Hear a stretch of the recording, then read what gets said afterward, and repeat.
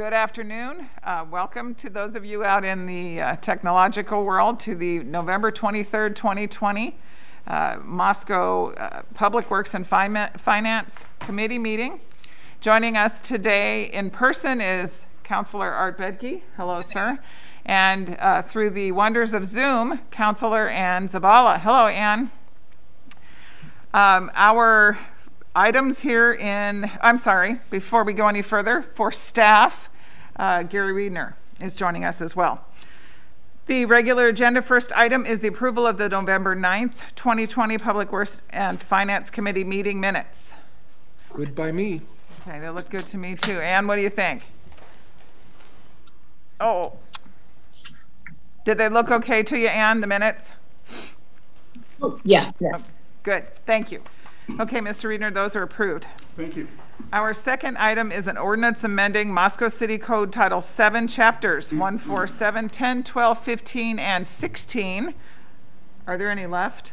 Um, regarding construction regulations. Justin Goodwin is joining us. There you are, sir. Hello. Hi there. How are you guys doing today?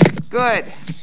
Good. So, uh, yeah, the document you have before you is the amendments to the construction regulations to for the city of Moscow. um, one thing that uh, want to make note of is the legislator passed uh, House Bill 547, which basically uh, did not allow us to amend the uh, residential portion of the code like we have in the past. Uh, and, and this was to keep it pretty much equal throughout the whole state of Idaho. So that's why you see that the pretty much we've deleted a ton of stuff out of out of our code, and that's the reason why. Another reason why is is um, I found out that you know City of Moscow has just been ahead of the game, um, so the codes have finally just caught up to us. So, which is kind of really interesting. Um, so basically, we held our building code advisory committee meetings. Uh, Art, he made every single one of them. I appreciated that. Um, and we went through it, and uh, really not much is changing other than getting rid of a bunch of stuff out of the uh, out of the residential code. Um, now, in the fire code, what you'll notice is we're just basically putting it in line with the um, what is already in the fire code uh, language wise. And uh, talking with Dan Ellenwood, our, our division chief fire marshal, um, he did a presentation for us about addressing. Um, you know, we're getting to a point where we're we're building a lot of uh, homes behind homes or ADUs and things like that, and addressing's been been kind of a little bit of a nightmare trying to trying to locate those places. So, uh, put our heads together, and uh, in that part, we came up with what the committee thought was uh, was a good idea. Is is actually having those addresses out on the front because the code just says you have to have them on the building. Um, uh, other than that, really, like I said earlier, we just took a bunch of stuff out of the code. So we actually made Title VII a little bit smaller, which is which is kind of nice. Ann or Art, any questions? No questions, but a couple of comments. As Justin was right, uh, Moscow had good code working with our amendments, and the rest of the code finally caught up with us, and so we didn't need to have them in anymore. And also, the construction architect community of Moscow should be commended for showing up and doing the hard, heavy lifting and discussing as they marched their way through all this code. So kudos and thumbs up to the guys who participated and hashed through all of this stuff throughout the course of our meetings. So, from my point of view, they looked sensible, reasonable, and well thought out, and puts us into compliance with the state and international codes. Excellent. Anna, is, is, is that exactly what you were thinking, and Art just got to it first? Precisely. Um, really, if you had some thoughts, you're welcome to. I was just being funny. Um, I think we should probably recommend forwarding the proposed ordinance for public hearing at the council's December 7th meeting. How's that grab you? A day that will live in infamy. We'll put it on. Justin, nice work. Thank you, sir. Excellent. Thank you very much. Okay, our third item is the University of Idaho Emergency Services Renewal, uh, Action Agreement Renewal. So, University of Idaho Emergency Services Agreement Renewal. Mr. Riedner. Thank you. What you have before you today is the draft um, master agreement for services. The city has been providing services to the University of Idaho for uh, emergency services, typically police, dispatch, fire, EMS response, uh, since 1966 pursuant to contract. We've provided it for years before that, but it was in 66 when uh, when we finally reduced it to a contract, and um, the university and the city have been under contract ever since. In 2010, the university, or late 2009, uh, the university actually put it out for requests for, for qualifications and proposals uh, to determine whether or not there were other law enforcement entities that wanted to provide that service to the U of I. At that time, the city was the only entity to respond. Uh, Latah County Sheriff at the time decided that that was not something that he felt his department could do, which was a natural, you know, they, they, um, the sheriff's office, uh, more rural, dealing with, um, uh, the more rural aspects of law enforcement. Uh, So they decided they did not want to respond. The only other uh, entity that could respond that has arrest powers in the state of Idaho uh, is the uh, Idaho State Police. And they didn't respond, of course, because that's uh, not what they do either. So we responded, we negotiated an agreement uh, for an initial um, three-year period, renewed for an additional three-year period. Then it was renewed in 2016, I believe, for another three-year period. We are at the end of that three-year period. That was 2017, excuse me. Uh, As of October 1st of 2020, uh, the current agreement expires under its renewal term and kicks over to a year-to-year agreement after that. We were approached by the University of Idaho. uh, We've been talking about uh, negotiating a renewal for some time. Uh, The University of Idaho, as you know, was going through some serious financial uh, constraints. So they approached the city and asked whether the city would be willing to uh, reduce or eliminate the inflationary adjustment every year. Uh, We negotiated that, and as you see in this agreement, uh, for the first year, which is the year that we're currently in, beginning October 1st, 2020, uh, through September 30th, 2021, uh, the amount of the agreement would stay the same as it was in the previous fiscal year. Uh, Then from 2021 to 2022, uh, there would be a 1% inflationary increase in 2022 to 2023, 2%, and then it would go to the regular 3% adjustment every year thereafter. Um, The term that we negotiated was an initial term of five years and then a renewal for an additional five years. Give both the city of Moscow and the University of Idaho some predictability, which is what we're trying to do in all of our contracts at this point. Uh, The, uh, so that covers the compensation and the term. The only other issue, and as I mentioned in my um, CCSR, uh, the only other issue that we're dealing with at this point is um, the University of Idaho has agreed throughout the years that when we need to purchase a ladder truck, then the university pays for half of that. The current ladder truck uh, was purchased in 2000. The university paid for half of that, and we've continued that into this agreement.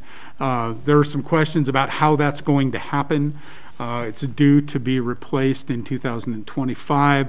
Uh, The university just had some questions, wanted to see our schedule for doing that and talk about some of those things. And um, some questions about, okay, when the ladder truck is salvaged, when it's traded in, or whatever happens to it, where does that money go? We'll work through that. Uh, Suffice it to say that I've had discussions with Brian Foisy, uh, the, uh, the uh, Vice President for Finance at the university, and this will be going to the State Board of Education, uh, Regents of the U of I, uh, at their December meeting. We can work out whatever particulars, if there's anything that needs to be adjusted uh, regarding the ladder truck. So with that, uh, what I'm requesting is that the uh, committee recommend uh, approval of the agreement. Uh, We should have, if there is any adjustment regarding the ladder truck, we should have that prior to the December meeting, December 7th, when this will be uh, brought to city council. But uh, very pleased with it. It is, provides stability, which is something that uh, we've been wanting to do in all of our operations. With that, I'd answer any questions. Anne, let's start with you this time. Did you have any questions at all? No, just my comment would be that I think um, it makes sense, and in terms of a service that we can provide in a partnership to establish what's that scale of economy for us. And I like seeing the increases built in over the next couple of years too. So no questions. I think it looks good, and it makes sense to me to recommend approval for the full council. Okay. Arthur, how about you? Uh, Ditto that, and the five-year, with one five-year renewal certainly adds to the stability and predictability, and I'm very much in favor of that and the contract as a whole.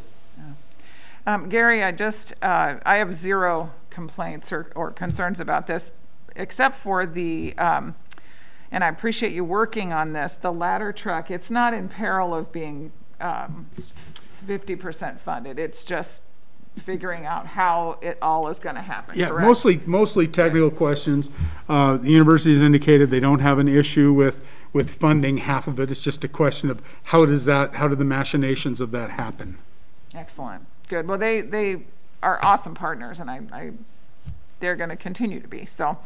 Okay, well, I hear us all saying, let's recommend approval of the master services agreement with the University of Idaho at the December meeting. Thank you. You're welcome, sir, thank you. Um, this is our last item, um, of our regular agenda. We do have a report from Mar- Mike Ray on the Paradise Creek Flood Hazard Study. Afternoon, counselors. Hello, Mike, how are you? Doing well. Thank you. Just going to share my screen.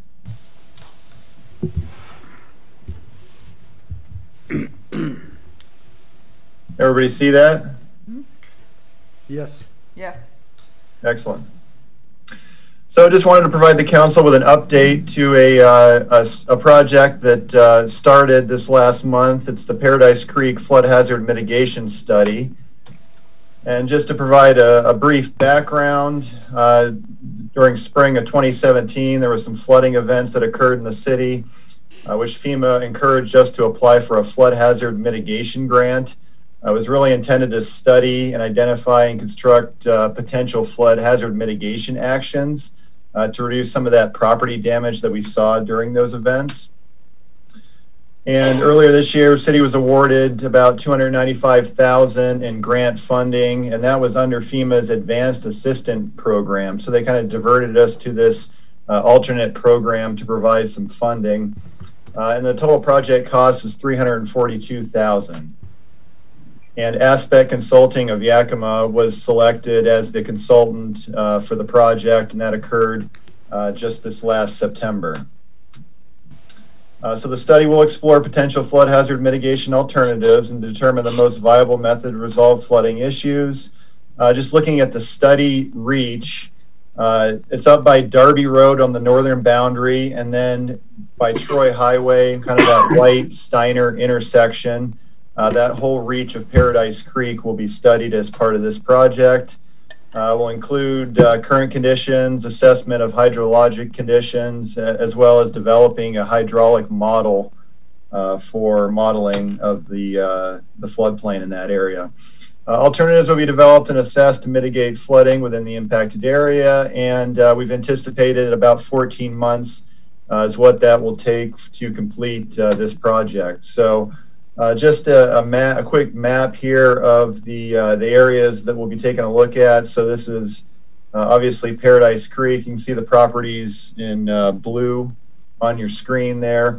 So right near the, uh, you can see the the Highway 8, so Troy Highway, and that white Styner intersection uh, to the south, and then all the way up past Mountain View Park, up North Mountain View to Darby Road. Uh, where Paradise Creek crosses Darby. Uh, the study will uh, extend to that area. So it'll be this whole corridor. And this is the area of town where Paradise Creek is in the 100 year floodplain where we see the, the most amount of flooding and, and the most issues. Uh, so we formed a technical advisory committee uh, as part of the process, and there are a number of stakeholders that are involved. Uh, Shane Slate with the Army Corps of Engineers uh, provides representation, as well as Mike Nealon, uh, who's local, with Latah County Disaster Services. Uh, we have Doug Jones with Idaho Department of Water Resources out of the Coeur d'Alene office. Nick Davids with PCEI. we just included Palouse Clearwater Environmental Institute just because of uh, partnerships in the past with uh, kind of that riparian area, floodplain, um, regentrification. Uh, Ryan Bender's Idaho Office of Emergency Management is also included. Uh, and through the city folks, uh, there's a few people in our department. Uh, Bill, myself, and Scott Bondrager, our city engineer, are involved.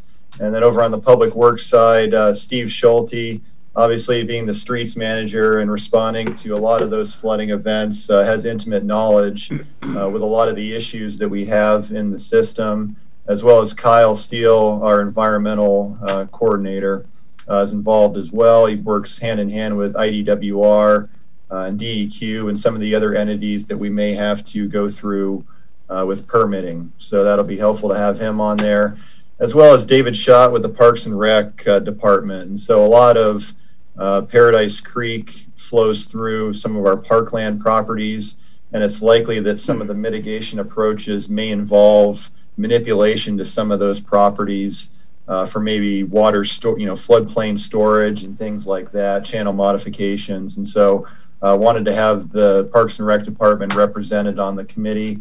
And uh, Art has graciously agreed to be on the committee as well as the council rep. And we did have our first uh, technical advisory committee meeting, and that occurred actually last week. And uh, really, the first, this kind of lays out the three TAC meetings that we have planned uh, and the and the dates, the tentative dates there. So last week we had the first uh, meeting. That was really just an introductory meeting. Um, review the mission, the work plan, uh, cover the study background, really to familiarize the, the members who are unfamiliar with the project uh, and to provide a little bit of background as well as to solicit some input, uh, primarily from Steve on those problem locations that we've had in the past. Uh, and then looking towards the future, uh, we anticipate the next TAC meeting is going to be March of next year. And that's really after our consultants had a chance to uh, gather all the data and do some modeling uh, look at those kind of high priority problem areas and the mitigation approaches that could uh, be undertaken to alleviate some of those. Uh, we'll do that at that meeting as well as looking at some altern- you know, preliminary alternatives for discussion and then uh, city approved alternative evaluation criteria. And then looking on to the third and final TAC meeting, uh, that would be in next, you know, next fall, so August 2021 uh, reviewing the preliminary alternative evaluation results, recommended preferred mitigation alternative, and uh, the modeling results and potential mapping changes that could occur uh, as part of this study. And then it's planned that we will conduct uh, two open houses, and so these were originally uh, intended to be in-person open houses, but we've made a shift to more of a virtual format just because of the ongoing uh, COVID situation. And so the first uh, open house is anticipated to be this next month in December.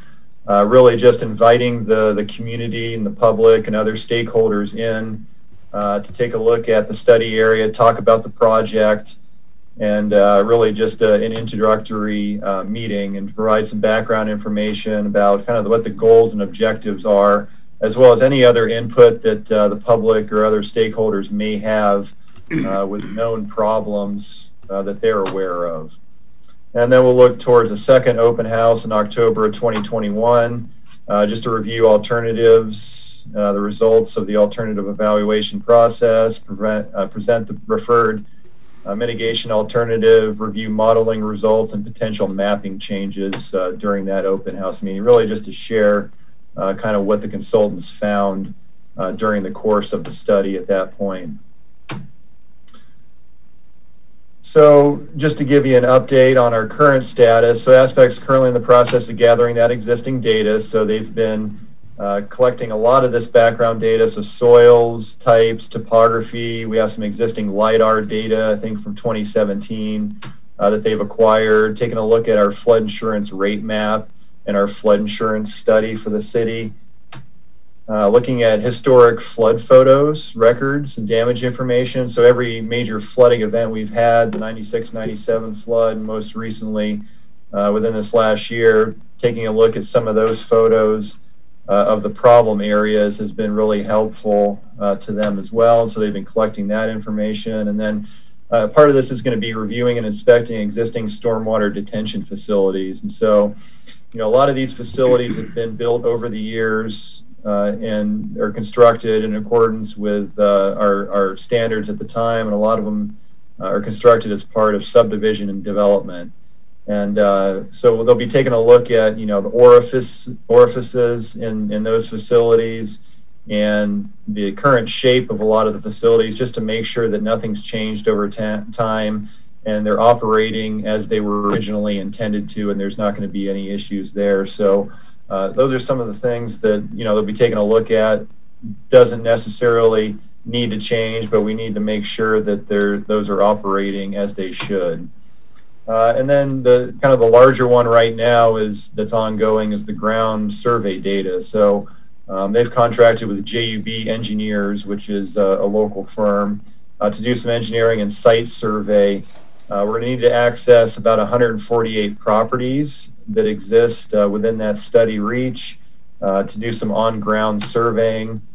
Uh, we sent those letters out for the right of entry uh, permission. We did that about a few weeks ago.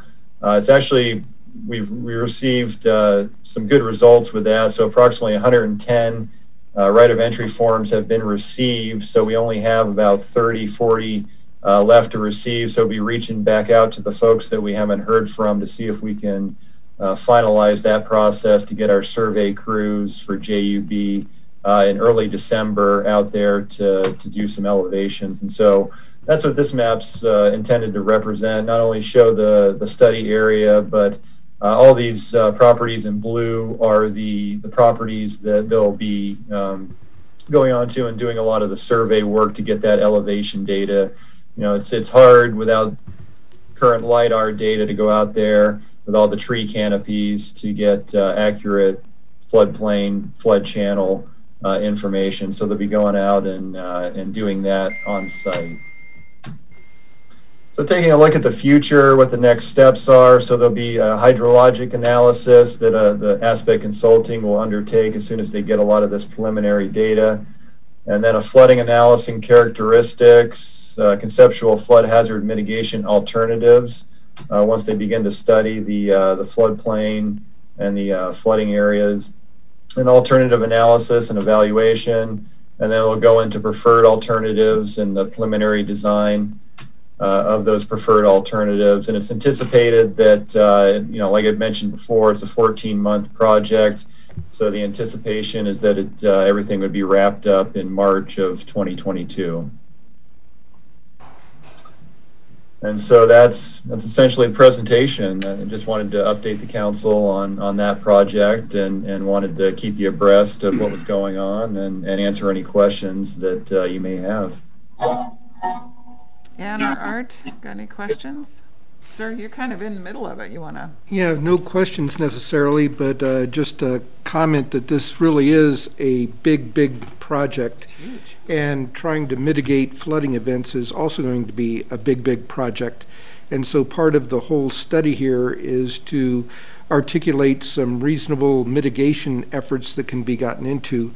But beyond that, also providing us with cost benefit analysis so we can get the biggest bang for the buck early on and provide a sequence of mitigation events that make sense to go into the future to take care of the problem, both now and going forward, and meshing this with our stormwater utility as well. So it's it's a big, complicated project, but it seems to be off to a good start with uh, the various stakeholder input and the uh, consulting firm that's doing it. So so far so good. Excellent. And do you have any questions or any comments? Yeah, um, I really appreciated the update. My tech may have cut out for a minute. Um, what is LiDAR data, if I'm pronouncing that correctly? It's more or less just elevation data. So it's like topography, only it's 3D instead of 2D. So it's a laser-based system where you fly a plane over and bounce laser beams off the terrain underneath of you, and it creates essentially a 3D topo map for you. So if you're mapping a stream bed, it makes it very easy to see where uh, impediments are, where silt is accumulated, uh, things like that.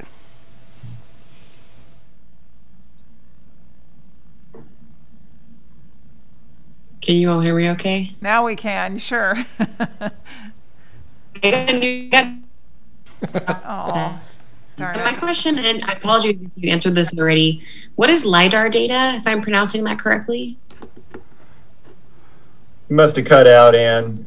Um, it, essentially, laser Shoot. focus, it ends up being topography and gives a 3D model of the terrain. So um, I think Art said it best, but instead of, you know, more of a T, 2D topography, it'll end up giving a 3D image. Uh, and we'll be able to tell what the actual stream channel itself is, how that's changed over time. You know, a lot of this is affected by upstream silt with farmland. And so, um, you know, over time, the stream bed ends up uh, getting filled in uh, with a lot of this silt, and so we don't know how that's affected, been affected over time. So we need to get an accurate uh, representation of what the 3D image of, of the stream bed looks like, as well as the cha- you know the channel and the banks uh, themselves. So that that's what lidar is. Thank you for the explanation twice, it sounds like. Um, and then I did have another question. Um, I think it's great that we're doing an open house. I imagine that the expectation um, it'd be great if we get some folks there, but will there be any opportunity for online engagement around this as well?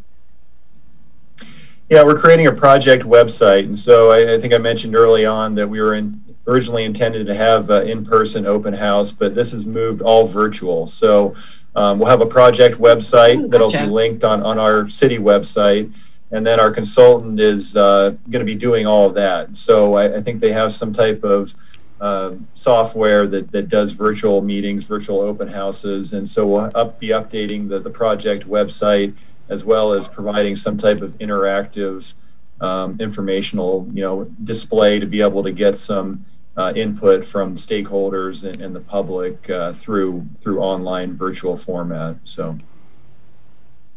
Perfect. Yeah, those are all my questions. Thank you so much. And I was really lovely to hear um, more information about the the TAC and the timeline. That was all really helpful. Thank you. Thank you, Anne. Um, Mike, earlier, maybe it was the end of last year or early this year, some um, floodplains were remapped here in the city, and we were looking at um, specifically down on what, 95 there? Yeah, Um, is this that kind of work, or is there the potential to use the data that we're gathering to maybe someday remap some of those floodplains, or, or am I, am I kind of two separate? Is my understanding not as good as it should be? Well, that could be the end result. Um, you know, in those areas, there was there wasn't necessarily anything that was done that changed the floodplain. It was just restudied, Right, and so that was from the south couplet to essentially the our southern boundary of this project. So that White Styner Avenue eight, you know, Highway eight intersection.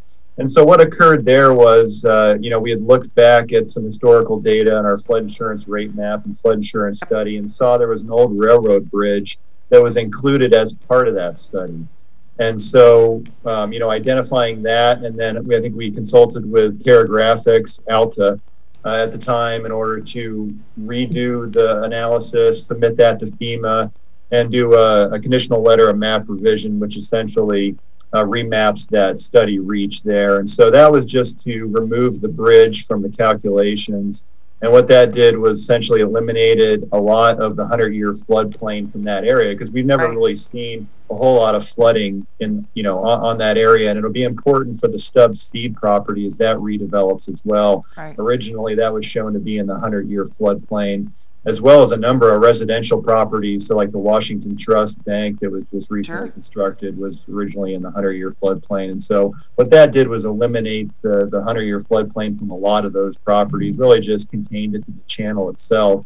And so, you know, that would eliminate the need for flood insurance for all those properties, as well as, uh, you know, as those gentrify in that area, the rehabilitation of a lot of those properties will be, you know, a lot less affected by the uh, floodplain requirements. And so that's important for that area. Um, this project, uh, you know, I think the end goal, depending upon what the mitigation approaches end up being, uh, will ultimately be some type of letter of map revision to amend the floodplain in that area. But we'll just have to see. You know, that we're gonna right now. It's just gonna be a study. They're gonna do the cost benefit analysis after they identify some mitigation approaches, and so maybe it's uh, doing some some culverts. You know, shifting water from one location to the other. Maybe it's large storage on some of our parkland property. Uh, maybe it's replacing some bridges that are currently honeycomb, you know, designs uh, into a free span structure. You know, a lot. There's going to be a lot of things uh, that can, that we're going to take a look at, and it's just going to be that cost benefit analysis. What you know, what's the most bang for the the least amount of money that we're going to be able to get, and then maybe in the future, this we'll be able to roll this into another grant funding opportunity in order to actually implement a lot of the mitigation approaches that they're going to recommend. And then after they do that, um, and we maybe we get those constructed and implemented, we'll be able to to submit this to FEMA and get actually get the the floodplain amended and, and remapped in that area. So I think that's the end goal with with that. Okay, good. Well, I'm glad it wasn't as far off as I, as I thought it was, so, good. Okay, well, excellent. I appreciate your report. Any, anything else from our, my cohorts? Okay. Well, um, thank you all for your attendance today. Um, I wish you all a, a happy Thanksgiving. Enjoy the time and have a good holiday. Thank you very much. Ah.